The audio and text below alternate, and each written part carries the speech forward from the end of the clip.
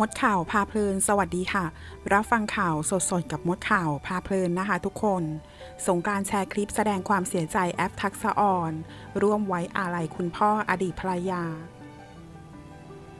ร่วมส่งกำลังใจให้นักแสดงสาวแอฟ ทักษอร ภักดิ์สุขเจริญ หลังเกิดการสูญเสียครั้งยิ่งใหญ่ สาวแอฟเองได้สูญเสียคุณพ่ออนุสร ภักดิ์สุขเจริญ ผู้เป็นที่รักของเธอด้วยอาการป่วยโรคมะเร็งในคืนวันที่ 1 ตุลาคม 2566 ที่ผ่านมารดน้ำศพและการสวดพระอภิธรรมที่จัดขึ้นณวันที่ 2 ตุลาคม 2566 ที่ในศาลา